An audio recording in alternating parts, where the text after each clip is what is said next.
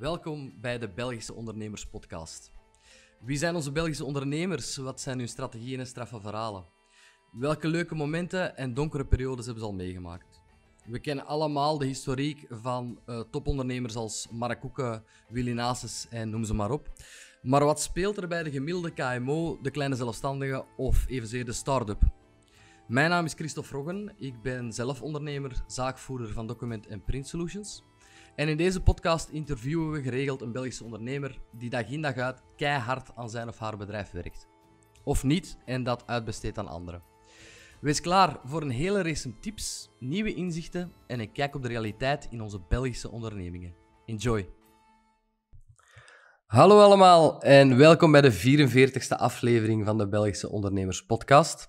Vandaag hebben we, zoals hij het zelf zegt, een verstrooide professor uh, aan de andere kant van de digitale tafel een uh, man die sinds 2018 zaakvoerder is van Planet B. Dat omvat een aantal uh, bedrijven, organisaties zoals Bamboos en Wonder.care. Maar dat ga ik Tibe Verschaffel dadelijk zelf allemaal laten toelichten. Want deze 25-jarige clipper tenminste, die komt ons vandaag verblijden met zijn ondernemersverhaal. En Tibe, hartelijk welkom in deze podcast. Bedankt dat je erbij wil zijn. Ja, dankjewel Christophe. Zalig dat ik erbij mag zijn. Zalig, kijk. het perfecte woord. ik uh, begin altijd met de vraag, hoe gaat het met jou? Zeker in gezien de periodes die nu hopelijk een beetje achter ons liggen. Maar hoe gaat het met jou? Um, het gaat goed bij mij. Het is heel erg druk. Uh, er is veel gaande. Er zijn veel challenges die we momenteel uh, aan het feesten zijn. Um, maar voor de rest gaat alles goed. Um, ik voel mij gelukkig. Ik ben nog steeds heel gelukkig bezig met alles wat ik aan het doen ben. En uh, hopelijk gaat alles met u ook goed, Christophe. Ja, absoluut, dank u wel. En ik had liever iets anders gehoord, want dat maakt de podcast spannender. Maar het is goed dat je gelukkig bent. nee, nee, leuk om te horen. En met mij ook dank u wel daarvoor. Jij moet misschien eens even toelichten, Tibe, wat jullie juist doen. Want Planet B is een ja, een vertakking, of heeft een aantal vertakkingen van bedrijven. Het is tweeërlei en dan nog wat vertakkingen. Maar zit vooral in op duurzaamheid en sustainable. En ja. als ik het zo cru mag zeggen, de, de woorden van het moment, hè, de, de, de modewoorden van het moment. Maar daar staat echt wel gebackupt door dingen die jullie effectief laten ik zal, ik zal anders beginnen met wat ik denk dat mij onze droom is. Onze droom is om een kleine Unilever te worden met enkel gezonde productlijnen. Gezond voor het lichaam en gezond voor de planeet. Okay. Uh, ondertussen hebben we eigenlijk, hebben we willen eigenlijk Planet B een holding company maken, met dan, daaronder dan brands. Ondertussen hebben wij bamboos, dat zijn onze, onze bamboerietjes. Daarmee hebben we eigenlijk een, eh, een heel uh, uniek productieproces eigenlijk op de markt kunnen zetten. Um, waarom? Bamboe is niet homogeen zoals hout. Bamboe is van buiten extreem hard en van binnen super zacht. En wat wij eigenlijk doen is, wij frezen de binnenkant uit, wij polijsten dat en wij zorgen ervoor dat we enkel die gladde, harde buitenkant behouden. En daardoor zijn onze rietjes vaatwasbestendig. Uh, zijn wij eigenlijk de enigste in Europa, hebben we daar labotesten voor laten doen in Denemarken en ook in het begin in België ook. Uh, en leggen wij zo alle supermarkten in België. Um, een van de, van de onze grootste USP's is dat wij eigenlijk voor kleine hoeveelheden um, eender wat dat je wilt in een rietje graveren. Dus zo, zo verkopen we heel wat gepersonaliseerde rietjes en horecazaken of als re voor relaties Um, een tweede productlijn waar dat we, een tweede brand, um, een merk waar dat we mee bezig zijn, is Wonder. Dat eindigt op DR, W-O-N-D-R. Dat is eigenlijk een, een solide cosmetica brand, waar dat we dan shampoo bars hebben, shower bars, face wash bars, shaving bars, enkele accessoires. En we zijn ook nog bezig met crèmes voor de toekomst en, en, uh, en allerlei andere zaken. En daar focussen wij ons. Wij zeggen dat dat is superfood voor je huid. Hè, dat is super gezond voor je huid, want er zitten geen nasty ingrediënten in. Het is ook gewoon super gezond voor de planeet. Oké. Okay. Um, wacht even. Een derde zin wacht even, wacht even. We gaan zo ja. naar de derde. Hoe komt het daar allemaal op? Ten eerste, die rietjes, dat begrijp ik wel. Je weet dat de plastic rietjes gaan weggaan. Je begint iets te onderzoeken en, en te uitchecken. Maar die soapbars, die showerbars, ligt dat in uw interesseveld toekoer? Of is dat gewoon iets... Het is bij mij eigenlijk uh, allemaal vroeger begonnen. Ik heb een paar hele grote zomerbars gedaan. Um, en we hadden daar een duurzaam winkeltje. De zomerbar, dat heeft goed gewerkt, maar dat duurzaam winkeltje, dat heeft niet zo goed gewerkt. uh, en voor dat duurzaam winkeltje had ik heel wat producten aangekocht, waaronder shampoo bars. Uh, nu, ik had dat eh, heel snel gedaan. Ik omdat het soms snel in het leven gaat, een beetje impulsieve beslissingen gepakt. Um, had ik uh, een 500-tal shampoobars aangekocht. Um, En ik dacht, dat is op zijn eigen wel ecologisch en dat is wel gezond. Ja, achteraf bekeken, als ik het op bol.com was smijten en, en, uh, en er meer over las, was eigenlijk totaal niet het geval. Dat, dat viel ook uit elkaar. Er zat SLS in, uh, sodium lauriesulfaat, die dat heel omstreden is. Um, allee, dat klopte eigenlijk totaal niet. En dat is, dat is hoe dat, dat is beginnen spelen. Um, ja, het is natuurlijk een, een, lang verhaal hoe dat allemaal gekomen is. Uh, de ritjes daarentegen, dat was, we zochten een alternatief voor op onze zomerbar, want we wilden de zomerbar zo ecologisch mogelijk maken. En we zagen inderdaad, wat je zei, uh, binnen enkele jaren zal het waarschijnlijk verboden worden op Europees vlak. En dat is nu gebeurd, hè, 3 juli uh, dit jaar. Um, wat dat wel in ons voordeel speelt, uiteraard. Oké, oké. Okay. Okay, tak 3, want ik heb het gevoel dat we heel veel te vertellen hebben, dus ga even, ga even door. ja, tak 3 is eigenlijk uh, in het cosmetica-veld. We zijn bezig met uh, poeders uh, waar dat je water aan toevoegt en dat wordt shampoo. Je moet weten, in de conventionele shampoo- en showergel flessen zit er ongeveer 70 tot 85 procent water.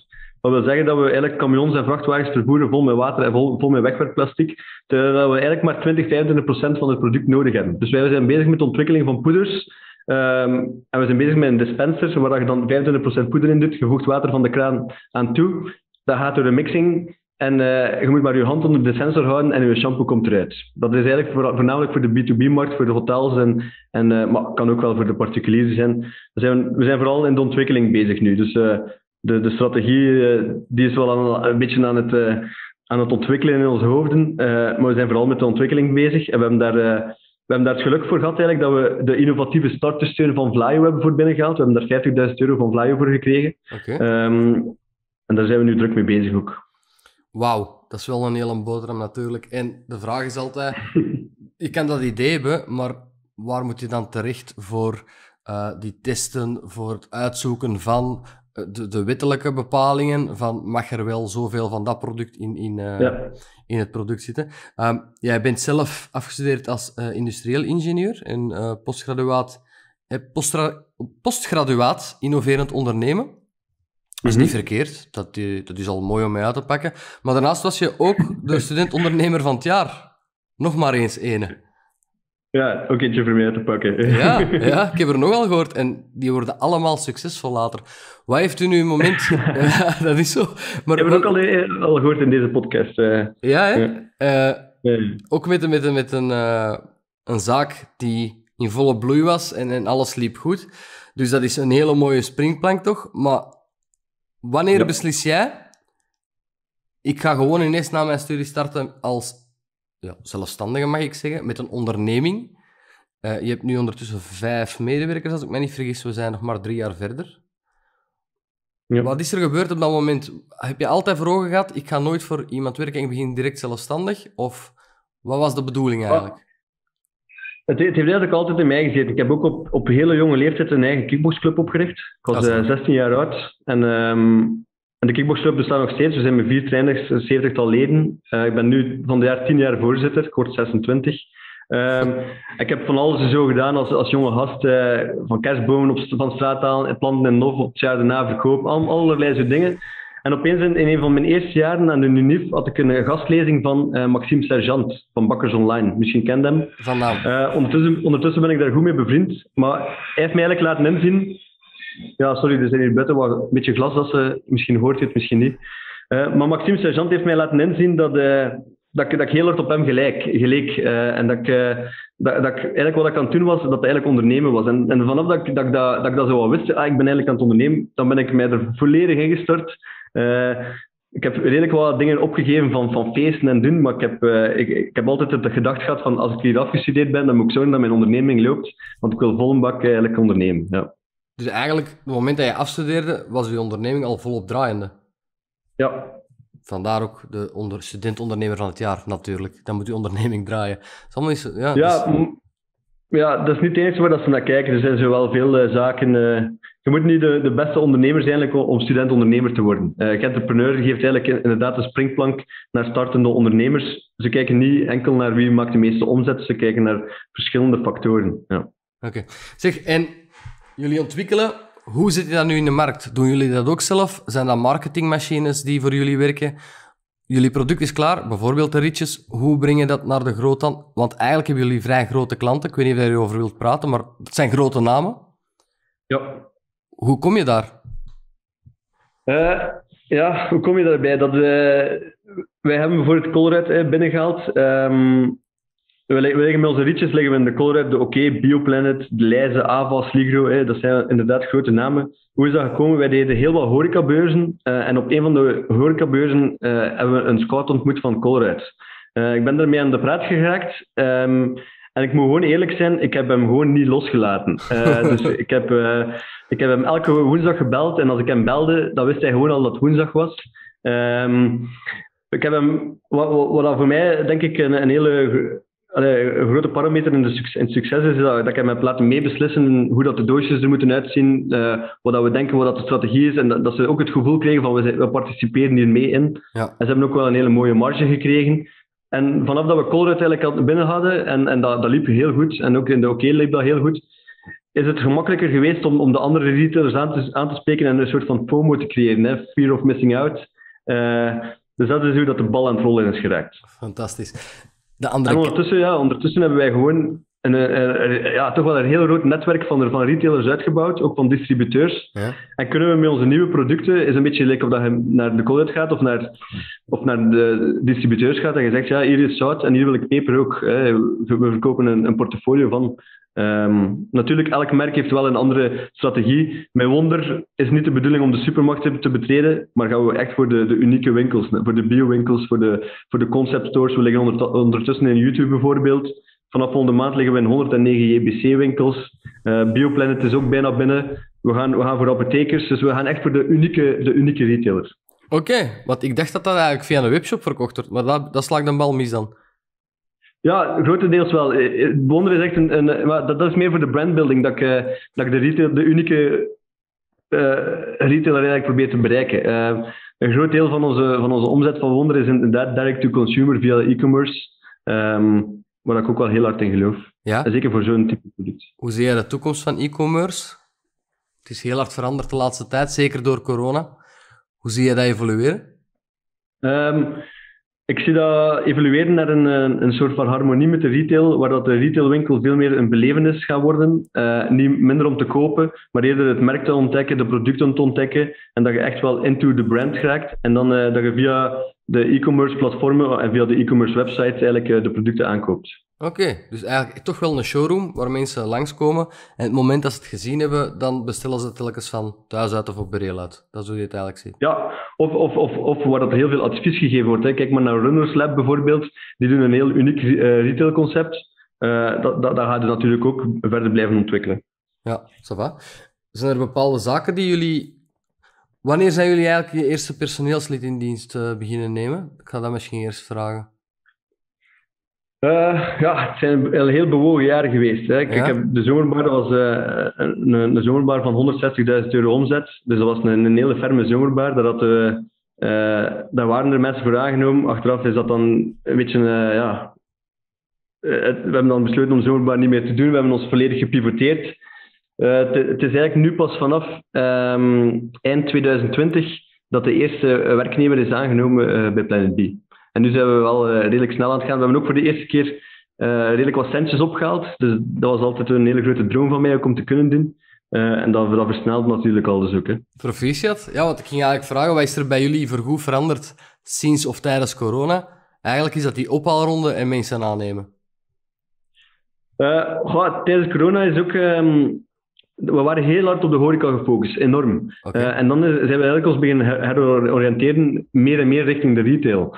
Uh, wat zeker niet slecht was in ons geval. Um, en dan is ook de ontwikkeling van Wonder begonnen tijdens de coronasituatie. Want er was gewoon heel veel tijd over. Mhm. Uh, alles lag een beetje op zijn gat. En dan ben eigenlijk de, de, de investeerder die ik heb ontmoet, was, was eerder in de zomer van 2020. En dan heb ik om de zoveel tijd een presentatie gegeven van kijk, dit zijn onze volgende stappen. En ik heb de volgende presentatie steeds begonnen met dit waren onze volgende stappen. En, en die hebben we nu voltooid. En dan heb ik heel veel vertrouwen mee kunnen opbouwen. En die ronde is nog maar net eigenlijk eh, een maand en een half nu achter de rug. Oké, oké. Dus eigenlijk ben je nu klaar om verder door te groeien op snel tempo. Dat is de bedoeling. Ja, ja. Oh, dat is spannend, hè? ja, zalig. uiteindelijk ben jij van ondernemer en, en zaakvoerder en de Tibe nu wel even naar ook manager en baas gegaan, hè?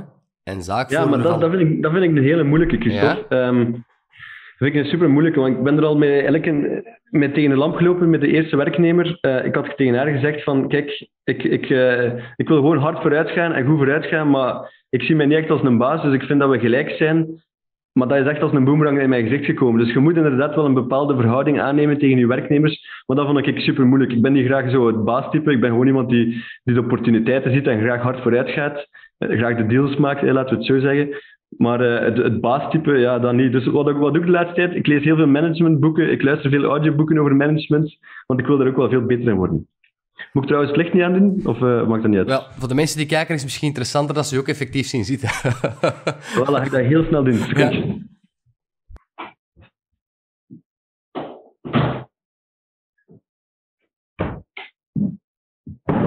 Voilà, daar ben je... ja, ik weet niet of dat beter is. hè. Nee, nee, niet waar.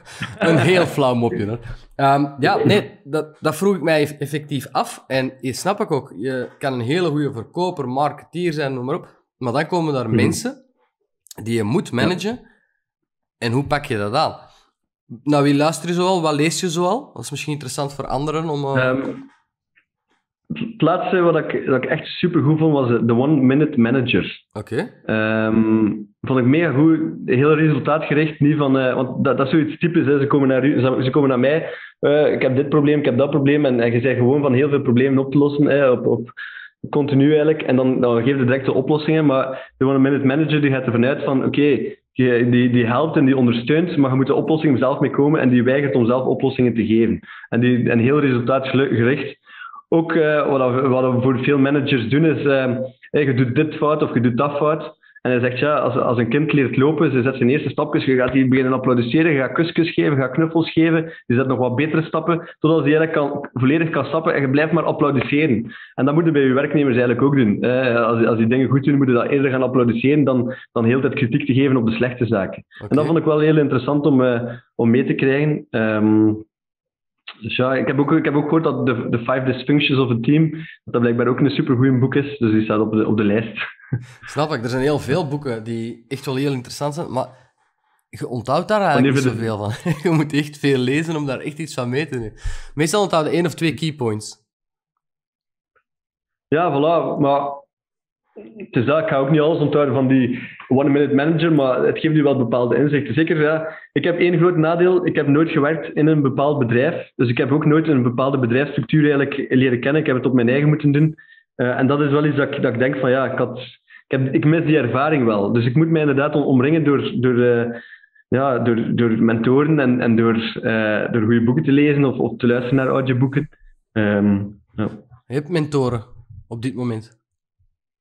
Ja, ik, ik heb wel zo wat- mensen rondom mij. Ik vind dat wel belangrijk. Ik- ben ook iemand die graag een keer eh, van iedereen zijn, zijn raad hoort en om dan eigenlijk uw eigen eh, mening te, te kneden. Ehm, dus ja, ik heb wel mensen rondom mij, ook nog van, van de Universiteit van Gent vroeger, ehm, die, die hebben ze durf ondernemen. Daar zitten er een paar echte kraks tussen. En eh, naar gelang eh, wat je bezig bent, komen er wel mensen op je pad. Hè. Eh, bijvoorbeeld, we hebben ook een started van KBC meegedaan. En zo heb ik wel wat mensen ontmoet en zo. Ja. Oké, oké, oké. Dat is altijd belangrijk om mensen te kennen die er op elk vakgebied wel iets mee kunnen bijbrengen. Jij staat daar Mhm. nu niet in het kantoor constant zo te applaudisseren en kusjes te geven telkens dat er iemand... Nee. Want zo stel ik me even voor. nee, nee, nee, nee, nee. Heb je al gedacht van, ja, kijk, ik, ik blijf gewoon mijn ding doen en ik zit daar een manager tussen? Ja, dat zijn zo allemaal pistes. Ik, ik, ik weet het ook zelf niet. Eh, Als je onderneemt, is niet dat je alles weet. Je, je doet ook maar wat, je test wat. En, eh, dus eh, ik, ik ben zelf nog aan, aan het ontdekken van hoe dat we het zou- zouden moeten doen. Maar ik, wat ik wel doe, is nu, ik, ik probeer wel iets meer... als, als iemand iets goed doet, ik, ik vroeger ging erover en dan, ja, nice, eh, ik wist dat dat gedaan was. Nu probeer ik wel te zeggen, ah, heel goed gedaan. Of ik geef ook feedback van waarom dat hij het goed gedaan heeft, of hij zei. Dat doe ik nu wel. Ja, oké. Dat is eigenlijk een goeie voor mij, want ik doe dat ook veel te weinig. Ik zeg goed gedaan Ja, ja, en dan gaat dat verder met de orde van de dag. Ja, ja, voilà, voilà. Kijk, dat pak ik mee, dat heb je mij weer al geleerd. Ehm, hoe ziet zo uw dag eruit? Nu, de gemiddelde dag. Hè? Ik weet wel dat dat altijd anders kan zijn, maar om laat starten jij, wat, doe jij? Om laat stop jij, om laat kruip jij terug in je bed? Wat, zijn zo de gemiddelde dagen voor u? Ehm, ik heb soms zo de, de, het voornemen om, eh, om, om elke dag om zes uur op te staan, maar als ik eerlijk ben, dan probeer ik zo, zo lang mogelijk te slapen tot, tot mijn wekker afloopt. En, uh, en dan kijk ik of dat nog niet vijf minuten langer kan slapen. En dan uh, spring ik eruit, pak ik misschien heel snel een douche, heel snel met tanden poetsen. En dan in de auto drink ik een jubel, uh, dan shake ik dat. dus ja, wanneer is dat? Dat is rond half acht, denk ik dat ik, dat ik rechts wel uitspring. Um, en dan uh, ga, ga, ik naar Gent. Ik werk in Doc Noord. Uh, wij werken in de coworking spaces nog steeds van Started. Dus ja. wij, wij, betalen daar de huur. Um, ja, dan, uh, ja, ik kan niet zeggen wat, de typische dingen zijn dat er gebeuren, want er is altijd van alles. Laatst tijd ben ik mij heel hard aan het focussen op, op de cashflow planning. maar ja, er zijn duizend en één dingen die op je afkomen. Um, dan, uh, s'avonds ga ik, ga ik vaak wel nog een keer sporten, ik ga joggen. Dan luister ik een keer naar de Belgische Ondernemerspodcast tijdens het lopen. um, ik ik kickbox natuurlijk ook terug nu op maandag en donderdag. Um, en dan, dan zet ik mij terug even aan de computer. Dan doe ik nog wat dingen dat ik, dat ik denk dat ik zou moeten doen. en dan tegen... Ik probeer eigenlijk wel redelijk vroeg in mijn bed te kruipen. Dat deed ik vroeger niet, maar dat doe ik nu wel. Ik probeer wel zeker tegen 11 uur in mijn bed te liggen en dat ik zeker op tijd ga slapen. Lukt dat? Ja, nu lukt dat eigenlijk wel. Vroeger was dat veel moeilijker, maar ja, ik, ik, ik, ik weet gewoon van mijn eigen, als ik, als ik voldoende slaap, en ik heb wel, ben wel iemand die veel slaap nodig heeft, dan kan ik gewoon veel harder knallen overdag. Dan ben ik veel, veel efficiënter. Ja. Um, dus ja, dat is, dat is gewoon heel belangrijk voor, het, uh, voor de business zelf. Sowieso, maar lukt dat in slaap vallen? Ja, eigenlijk wel. Omdat ik daar, omdat ik daar nu ook eigenlijk een goed bioritme in heb, in heb gevonden. Ik vond dat vroeger heel moeilijk. Ik was heel... Ja, soms een keer tot drie uur in de nacht werken en dan... Ja, dat was heel, heel wisselvallig. Maar omdat ik dat nu toch al een tijdje eigenlijk op hetzelfde uur ga slapen en op hetzelfde uur opsta, dat dat eigenlijk wel heel goed lukt, ja. Oké. Ja, maar je zegt, er komen duizenden één dingen op mij af. Ik kan me het ook zo voorstellen. Dat kan van, van, van A tot Z ineens gaan. Krijg dat maar gestructureerd op een dag ook, of in een week. Dan kan ik me voorstellen dat je je neerlegt, dat je nog altijd een beetje aan het malen zijn. Maar dat is dan niet meer het geval bij u. Um... Ja, dat, uh, ja, er zijn wel natuurlijk momenten dat het niet kunt loslaten, maar ik probeer dat wel af te zetten inderdaad. ik denk, morgen is een nieuwe dag en uh, ja, als je het nu niet meer kunt oplossen, waarom zou je er nog blijven aan denken? Ik probeer dat wel eigenlijk af te zetten. Ja. ja. Niet meer meditatie of zo, dat is gewoon pure Wel, die intentie heb ik dus ook al veel gehad. Ja? uh, Ik heb ook al een goed boek erover gelezen van Steven Lorijs en zo. Uh, ik geloof er ook al heel hard in, maar ik, uh, ik weet niet waarom dat, uh, dat ik dat niet voluit. Ja. ik vraag het aan iedereen, omdat ik het heel graag wil weten, voordat ik het zelf ooit probeer. Sommige mensen worden er effectief kalm van, anderen Heb je het nog niet geprobeerd? Nee, ik word er ongelooflijk... Jawel, ik heb het geprobeerd, maar ik word er ongelooflijk onrustig van. Er sneuvelt van oh, ja, alles. maar het verschillende types ook wel, hè. verschillende types meditatie. Wat, ja. ik, wat ik soms probeer is... Um, ofwel zit je ergens in, in een parkje uh, of, of je zit ergens neer en uh, je probeert eigenlijk alle geluiden dat er komen, moet je laten binnenkomen. Dus niet fixeren op één geluid, want dat gebeurt, eh, je, je hoort opeens in de verte de auto's en je gaat je daarop proberen fixeren, maar je moet alle geluiden laten binnenkomen.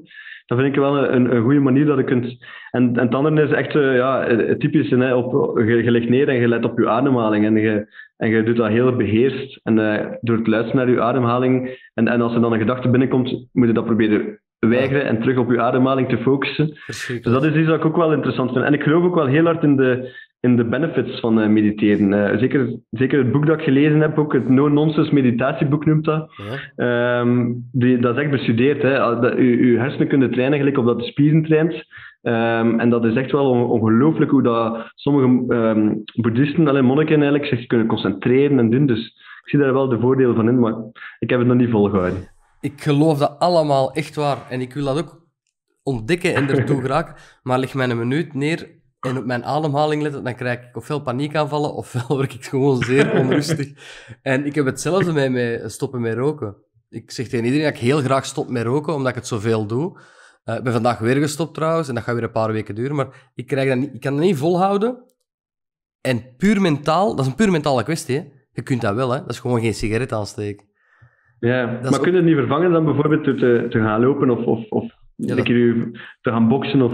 Ja, dat doe ik allemaal. Hè. Ik sport om de twee dagen.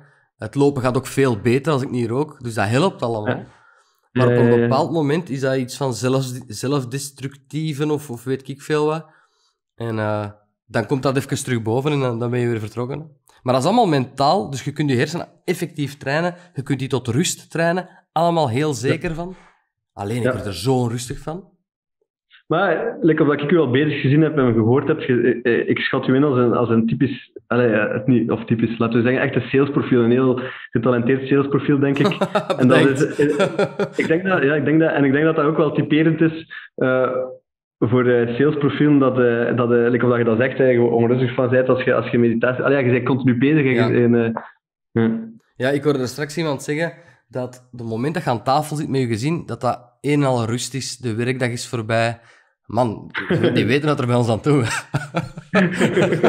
dat, is, dat is nog onrust. eh, Je bent constant bezig, je hoort je gsm afgaan, eh, je moet nog rap een mail beantwoorden. En als die actie er niet is en die valt weg, dan komt er een soort van onrustig gevoel in de plaats. ja. En dat is op dat van de gsm heb ik wel... eh, ik zet al mijn meldingen af, behalve mij bellen. Dus, eh, En iedereen weet dat ook van mij. Je moet mij geen sms sturen of WhatsApp of zo. Ik bekijk WhatsApp wel een keer per dag, maar ik zet alles af, behalve mij bellen. Ja, Ja. dus je kijkt Ja. niet om de vijf minuten op je gsm. Nee, zeker niet. Dat, eh, dat er zou te veel afleiding zijn. Maar, enk- enk- dus enkele bellen zet ik, zet ik aan. Ja. Ik ben oprecht jaloers. Ja, dat je dat kunt. Goh, ja, het is niet zo moeilijk om, eh, om te doen eigenlijk. Zeg, je gaat naar je instellingen voor je gsm en je zet je meldingen af en houdt know. dat een maandje vol en ik denk dat je ervan af bent. En nee, alleen al in de auto heb je toch constant vast. Dat je voor het rood... Het mag niet, ik weet het. Maar Ja, dat je voor het rood staat, je staat in de file, ja. Zelfs op bureel. Ja, maar bij mij in- de auto is dat ook wel anders. In de auto moet ik wel zeggen, dan, eh, dat is ook door, door de tijd van de auto eh, oplossen eigenlijk. Hè. Hier zijn we ermee, ze. Ik wist het. ze liegen er toch allemaal over, hè? Nee, ja, oké. Nee, de vind- auto dat wel, ja. ik vind dat knap dat je het eh, overdag kunt. Want dat, tegenwoordig heb je ook zo een, een gegeven, tegenwoordig zal het altijd bestaan hebben, maar het wordt meer en meer toegepast van deep working. Zegt u dat iets?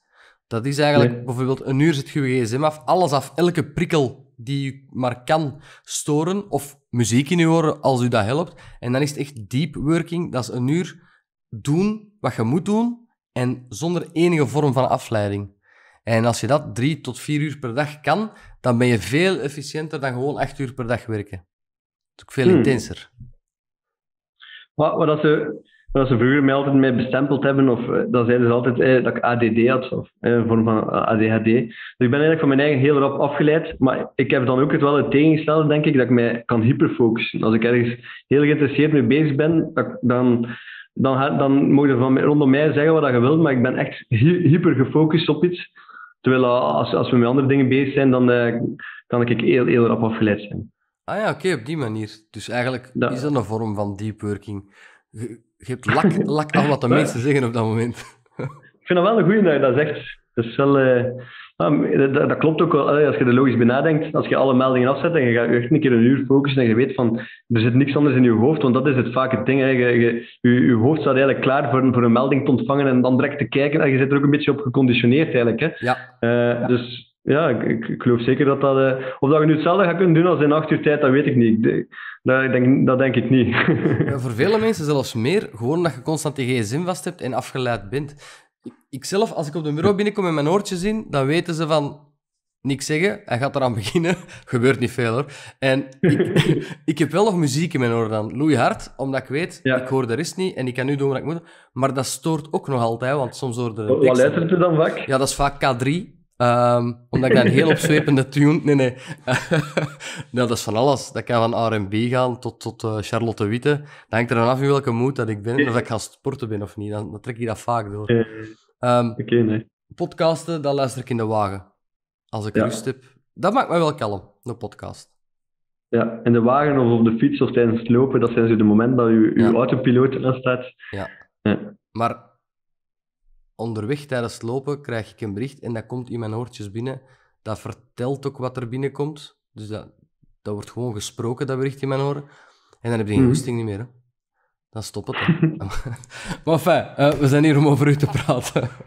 in, nu, in, in die drie jaar dat je ondernemer bent, met je eigen ondernemingen bezig bent, wat is de, de herinnering die je al het meeste is bijgebleven? Is er iets speciaals dat je hebt meegemaakt waarvan je denkt, ja, dat vergeet ik nooit niet meer. Of dat was echt wel even een moeilijke clip om te omzeilen. Of dat was een euforisch moment. Als je nu, nu direct ergens aan denkt. over het laatst had ik een, een etentje met, met zalige, zalige, een zalige kerel uit Gent eh, en ook allee, een paar andere mensen ook. eh Ruslan van Davai. En die, die vroeg ook aan mij, wat is eigenlijk de grootste shit dat er zijn tegengekomen? Op dat moment, ja, ik, ik kon er niet echt op iets komen, maar ik, ik heb er over het laatst een keer over nadenken. En eh, op, op een van onze zomerbaars, eh, we hadden een, een, een grote wc-wagen. Eh, en opeens was de, de buis die naar de straat liep, was volledig doorbroken. En, dat, en alle shit en alle plas en alle wc-papier was allemaal over het fietspad, over het straat.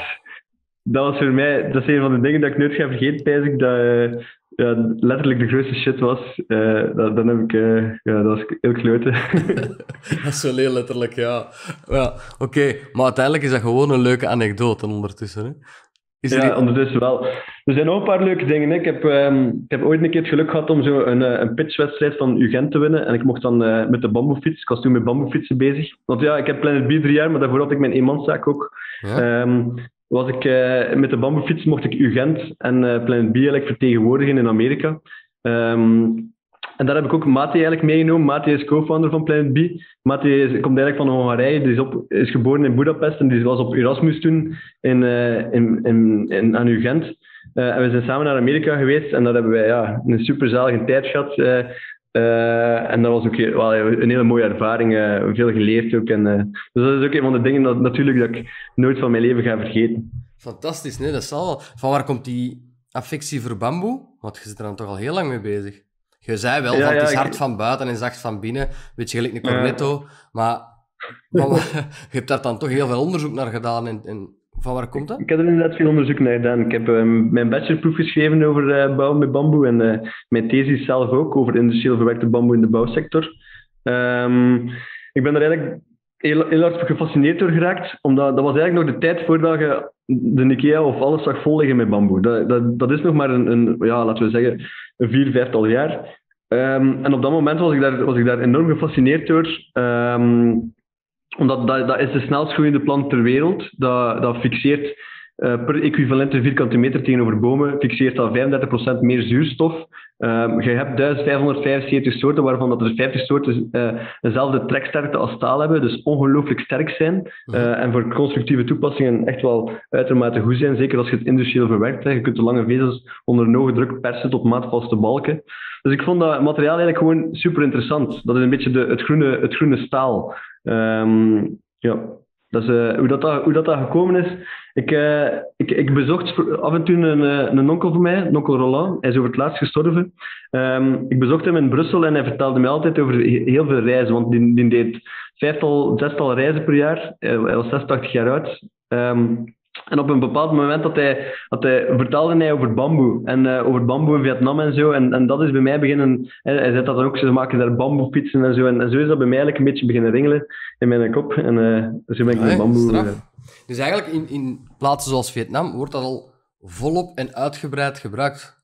In plaats van... Ja, wauw. In, in veel delen van de wereld. Eigenlijk overal behalve in Europa. Ehm, in, in, in, in Europa groeit, groeit, eh, groeit alleen maar eh, eh, de, de, het onkruid bamboe, of dat de mensen zouden zeggen, en heel zwak bamboe.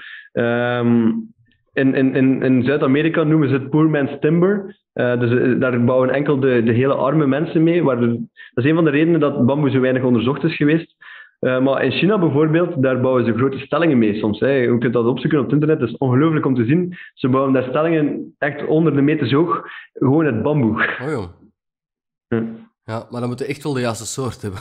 Als je dan de verkeerde soort Ja, ja, ja, hebt, dus, eh, dan zie je eruit. De, Ja. de mozo-bamboe is, is een soort die ongelooflijk sterk is, en die groeit in China.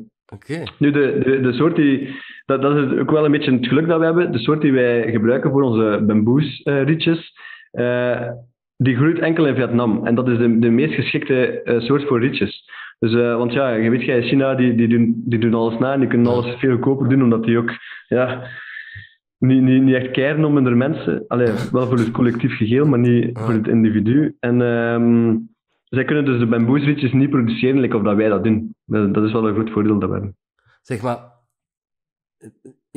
je importeert dat dan, neem ik aan. Enfin, je hebt juist gezegd. Maar als we nu zien, de laatste weken, maanden, zijn de prijzen voor containers, Ja. voor, grondstoffen, voor alles, maal 7, maal 8, maal 9, maal 10 gaan. Is dat bij jullie van hetzelfde? Ja, dat is bij ons van hetzelfde. En, en we zitten zelf met nog een groter probleem. De, de COVID-situatie in Vietnam is uh, enorm verergerd. En uh, de city is, uh, al, al, overal is, is, is lockdown. En het is zelfs zo erg dat de mensen amper op straat mogen voor eten te gaan halen. En zo. Het, is, het is heel, heel streng. alle, alle, alle fabrieken liggen stil. Dus wij kunnen momenteel niet veel doen. Ik heb zelf een, een, een, een order van de lijst moeten weigeren. Is wat ik een ongelooflijk kut vind. Ja. Um, maar ja. Maar je hebt geen alternatief. Niks. Momenteel hebben we geen alternatief. Ja. En zijn dat plantages? Is dat een bamboerderij? Ik weet het niet. Ik ben maar, wordt dat gewoon ook zoals bomen gekweekt en gaan ze dat kappen? Bam, bamboe groeit van zichzelf. Hè. Dus het uh, rhizomen, dat zijn een soort van grote wortels en, en dat, schiet dat, dat schiet echt... Ja, je weet dat ook, hè, bamboe, dat schiet als onkruid uit, uit de grond. Dat is met, met grote bamboe is dat ook zo. Je hebt, je hebt bamboe van, van een diameter van 40 centimeter die, die 30, 30, 30 meter hoog wordt. Um, maar dat groeit van zichzelf, dus dat is, dat is, je kunt dat eigenlijk duurzaam oogsten op zijn eigen. Um, na, na, drie tot zes maanden bereikt dat zijn, zijn volledige hoogte van 30 meter hoog. Uh, en dan gaan eigenlijk op, in de volgende jaren, pakt twee, drie jaar, verhoudende cellen, waardoor dat een hele sterke bamboe krijgt. Je zei toch juist, na drie tot zes maanden is het 30 meter hoog? Drie tot zes maanden? Ja, ja, ja. ja. Stevig. Dus, eh, niet alle soorten natuurlijk, hè, maar... Nee, ja. de, de snelgroeibamboe. Ja, dat is echt zo. Ik, je moet maar een keer opzoeken. In Guinness World Record boeken staat er uh, een bamboe die een meter op één dag tijd heeft gegroeid. Zot. Nu, op jullie website, want ik was uiteraard gaan zien. Ik zet ze ook bij de credentials van alle podcasts en, en YouTube. Uh, was ik eens gaan zien, jullie planten ook bomen per x aantal verkochte items. Klopt. Ja. Planten jullie dan bamboe of effectief bomen? Omdat je net zegt van bamboe is eigenlijk 30% meer zuurstof. En, en, of planten jullie toch bomen? Ja, uh, om de simpele reden ook, bamboe groeit op zijn eigen. Dus, uh, en ook, um, je zou kunnen het ding is, is wel natuurlijk, met bamboe maakt je, uh, als je daar ergens groeit waar dat het niet thuis hoort, maakt je veel biodiversiteit eigenlijk kapot. Want bamboe is zo sterk en, en groeit, ja, overwoekert eigenlijk alles. Um, terwijl er veel NGO's zijn die bomen planten. En, en leek, leek het ons ook wel gewoon de betere oplossing om, om uh, die, die NGO's te steunen en, uh, en daarmee bomen eigenlijk aan te planten. Of, of zelf ook ja, um, deforestation eigenlijk tegen te gaan. Dat zijn ook wel bepaalde. We hebben ook een CO2-neutraal label, hè, uh, gekeurd door Vincent. Dat is gekend ongetwijfeld CO2 Logic ondertussen wel. Ja. Zij, zij zij berekenen de, de CO2-uitstoot vanuit Vietnam naar België en dat compenseren we dan door, door goede uh, projecten eigenlijk te steunen over heel de wereld. Ja, want een onderdeel daarvan is Go Forest van Sarah, die ook in de podcast heeft meegedaan. En uh, ja. via haar planten wij ook bomen. Dus kijk, de cirkel is voilà, ja, ja, per, uh, per contract dat wij doen, zijn er x aantal bomen die geplant worden in Peru, in dit geval. Oké, okay, mooi.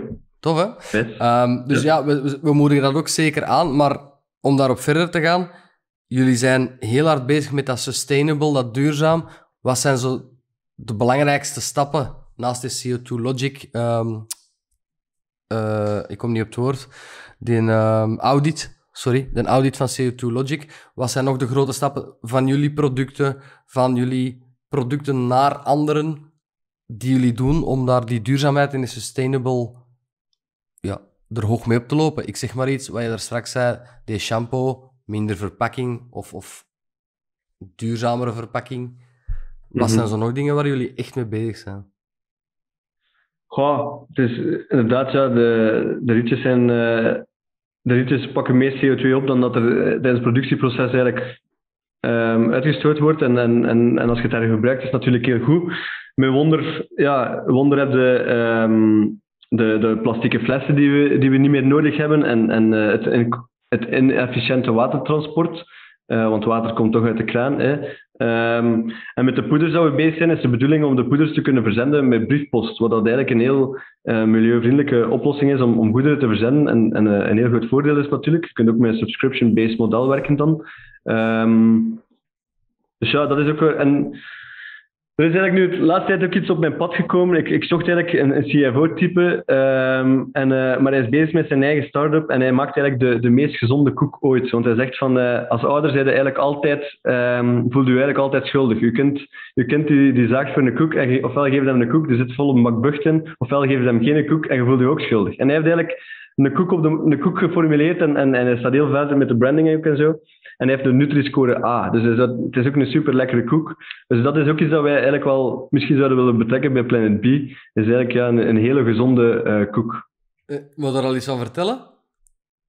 Welke koek uh, dat is? Is het een koffiekoek? Dat zal niet. nee, het is voor kinderen dus wel, maar meer kan ik daar niet over vertellen. ah ja. Ja, ja. Dat is helemaal geen koek, dat is gewoon een idee. Je wilt zien hoe ik hierop reageer. nee, oké. Laat het zeker weten als jullie daarmee verder gaan. Dan kunnen we dat ook uh, mee verder delen. Uh, het klinkt al heel interessant. En koeken zijn niet alleen voor kinderen, hè, Type. Vergeet dat niet. zijn, jullie zitten nu enkel in België met het uh, bedrijf? ja, we, we, hebben wel een, een, een, paar partners waar we aan verkopen in Nederland. En we zijn voornamelijk eigenlijk, eh, de bal is wel aan het rollen in, in, de, in de andere landen nu. In Spanje zijn we uh, bezig met twee mensen die, uh, die mee op de kar zitten en we zijn we alles mee aan het uitwerken. En in Italië eigenlijk ook. Um, in Spanje is dat eerder voor Bamboos en daar is Pavlos heel hard mee bezig. Pavlos is eigenlijk degene die Bamboos ondertussen leidt.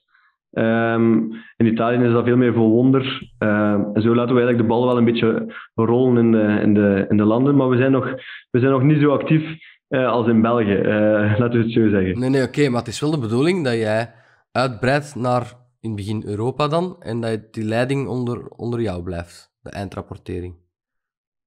Ja, uh, goh, onze, onze, onze goal is echt wel Europa. Daarbuiten, daar denken we niet over na, maar Europa is sowieso onze goal in de komende jaren. Ja. Um, dus dat staat echt als, als al vastgebrand in iedereen zijn, zijn, zijn, zijn geheugen. We willen Europa veroveren met onze duurzame productlijnen. Waar wil je binnen drie jaar staan? Uh, in veel landen van uh, Europa, uh, vooral in onze grote buurlanden en in Spanje, Italië, dat zijn de, de voornaamste landen waar we wel sterk in willen staan. Ja, toch wel. En dan met alle merken, of zoals je er net zei, de bamboes enkel bijvoorbeeld Spanje, de ja, voilà. enkel Italië, of jullie alles we, we bekijken, Ja, voilà, we bekijken heel hard per brand eigenlijk wat dat de strategie is en waar dat de, de, de grootste mogelijkheden liggen. Um, en daar bouwen we dan echt een goede strategie en kijken we van welke, welke spelers spreken we aan of welke distributeurs spreken we aan of, of, of welke salespartijen in, in, de in het buitenland spreken we aan. Dus we, gaan, we plannen eigenlijk uh, wel heel goed welke landen dat we eerst betreden en met welke merken. Dus het is niet dat we op, op alles zomaar gaan schieten. Nee, dat is niet de bedoeling. Wat vind je het moeilijkste eraan, aan heel dat ondernemingsverhaal dat je nu aan het uitrollen bent? Um, je mag niet personeel het, zeggen. Uh, het, het, moeilijkste vind ik eigenlijk wel... Ik heb het altijd mal moeilijk gehad met focus te bewaren. Dus we zijn dan nu ook wel heel goed eigenlijk aan, aan het structureren van hoe, hoe kunnen we nu met een holding werken en hoe kunnen we die... Want ja, we zijn natuurlijk met veel dingen bezig. Hoe kunnen, de bedoeling is om een dedicated team per brand eigenlijk te hebben. Uh, en om daar eigenlijk de juiste focus in te blijven bewaren. Dat is, uh, we gaan er zeker niet nog iets bij nemen. De, de, de, koek is misschien het allerlaatste, maar uh, dat, dat zal voor nu wel zeker alles zijn. Ja, omdat het echt eigenlijk bijna uit zijn, uit zijn grenzen dijt op dit moment. Het is echt wel ja, te. Ja, voilà, maar, maar ik denk altijd met, met genoeg resources, hè, als je genoeg financiële kracht hebt, uh, en je trekt de juiste mensen tot onderneming aan. Ik heb ook het grote voordeel dat er veel mensen eigenlijk komen aankloppen bij mij van, uh, om, om, om mee te doen. Omdat ze zeggen, ik, wil eigenlijk impact maken. Ik ben, ik ben nu in een bedrijf waar ik me niet 100% goed voel, maar ik wil ook iets goed doen voor de planeet. Ik wil impact maken. En, en dat trekt gewoon veel mensen tot onze onderneming aan. En dat is wel een, een groot voordeel dat we hebben. Er zijn veel gelijkgezinden die... Uh, die toch iets, iets, iets willen goed doen voor, voor, voor de wereld. Hè. Voor de mensen die erin leven, de, de dieren die erop leven of, of, en de planeet zelf. Ja. Is dat echt je basisuitgangspunt geweest? Ik wil goed doen voor de planeet?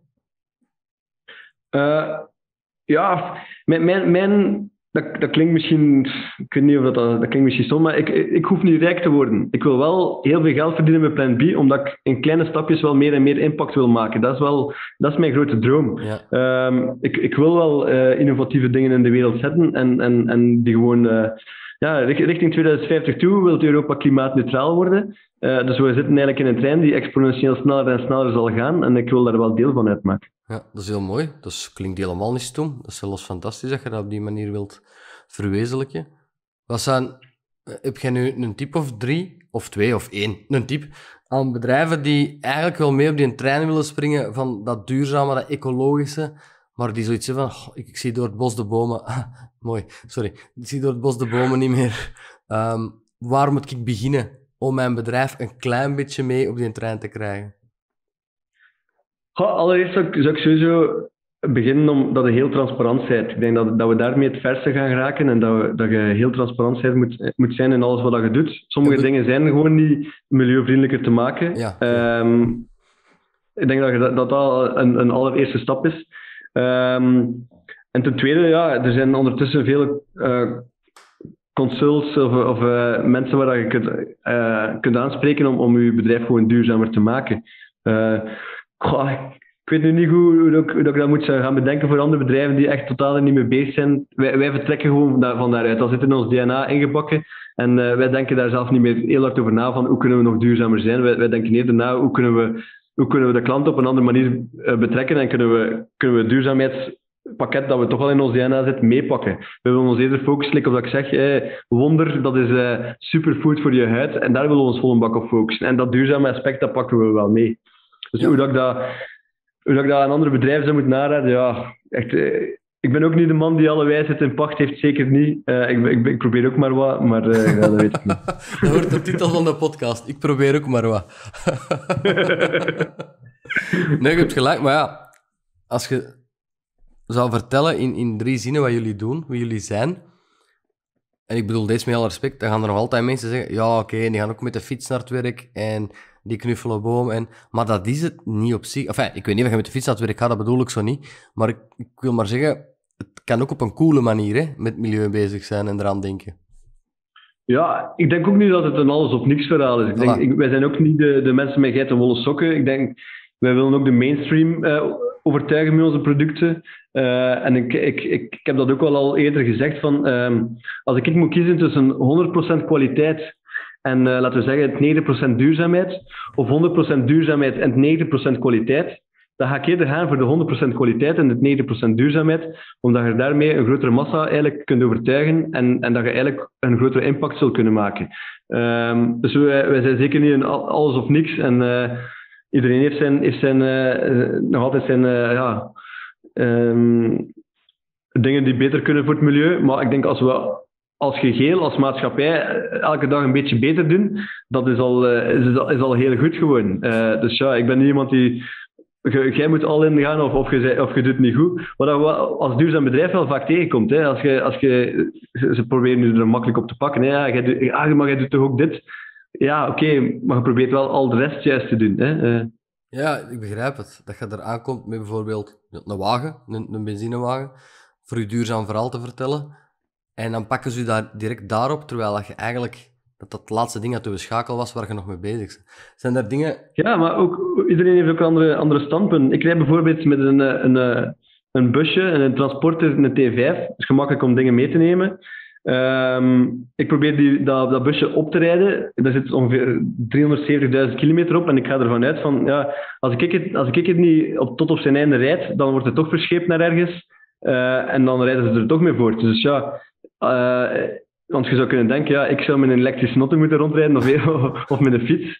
Maar ik rijd met een dieselbusje rond. En ik wil dat busje opgebruiken tot het op zijn einde is. Ik denk dat dat veel, veel beter is uh, uiteindelijk. Uh, maar ja, zo is iedereen zijn eigen mening inderdaad. Hè. Bedankt om dat te melden, want ik was er een beetje naartoe aan het sturen, maar ik wist niet waar ik ging uitkomen.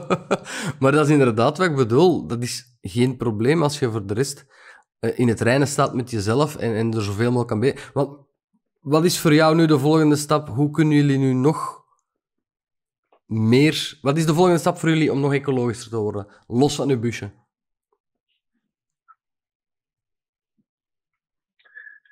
Goh. Um.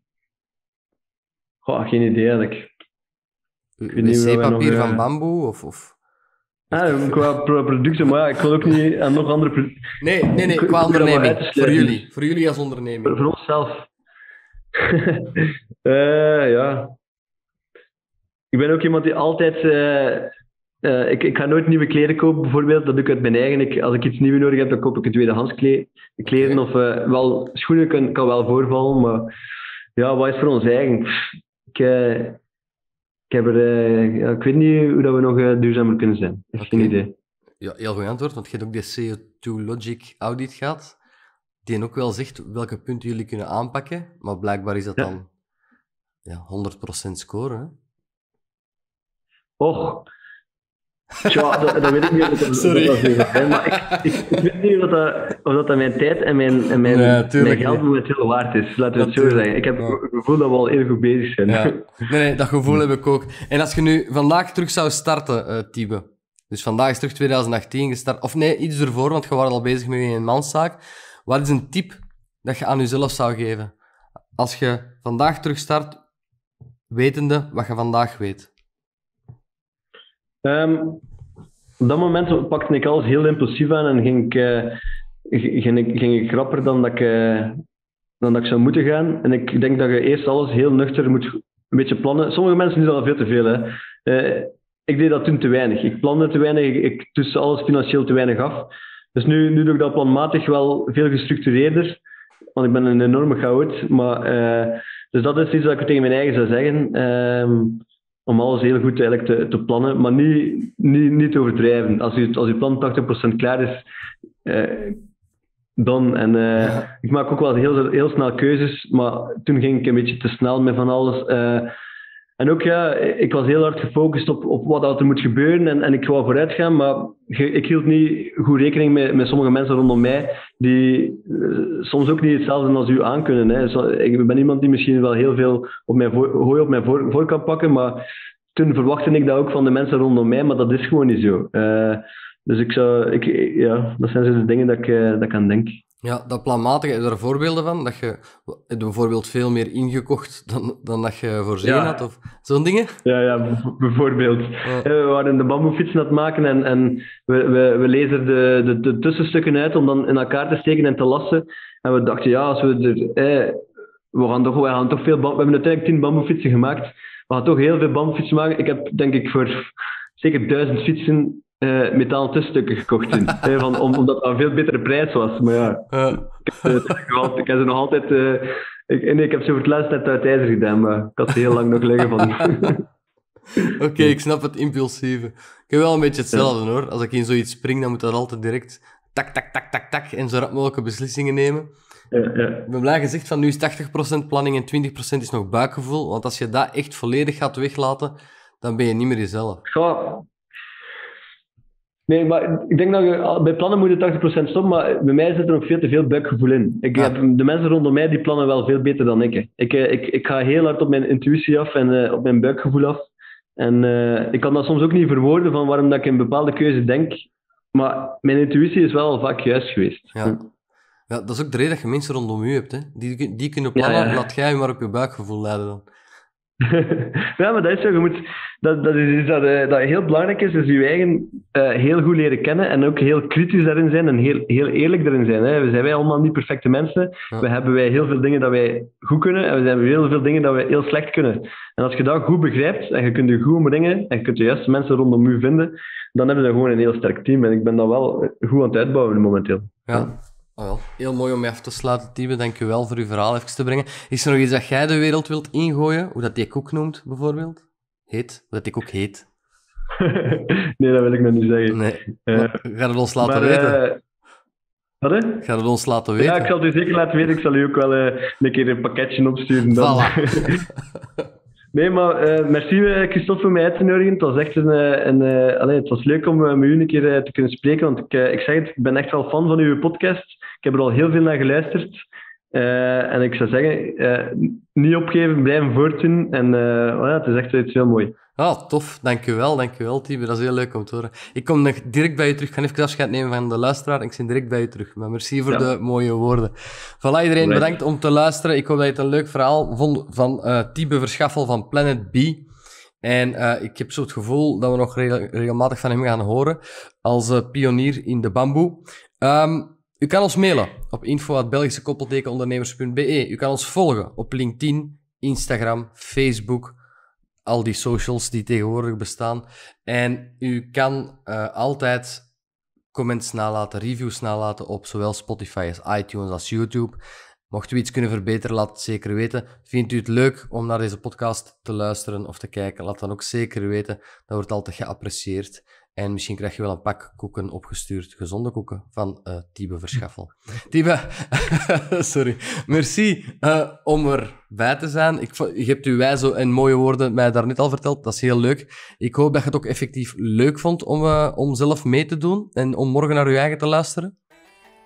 Ja, ja zeker. Uh, ik, ik, ik, heb ook twee huisgenoten die, uh, die, die ook naar uw podcast luisteren. En ik zei, ja, binnenkort mag ik er spreken. En, oh, oh, echt waar? Uh, dat, was, oh, dus dat was cool. Zijn het twee katten, Tiebe? nee, nee. Okay. het zijn mensen, hè? en dat gezegd huisgenoot. Nee, super. Bedankt om erbij te zijn. Ik vond het een heel boeiend verhaal. En ik ga... Um, het nodige qua info van de websites en dergelijke ga ik allemaal bij de teksten zetten. En ik zal u uh, uitgebreid bewieroken eh, op al mijn social media. En dan kan je het ook delen en bekijken wanneer je, uh, wanneer je wilt. Hè. Merci om erbij te zijn. En voor iedereen tot een volgende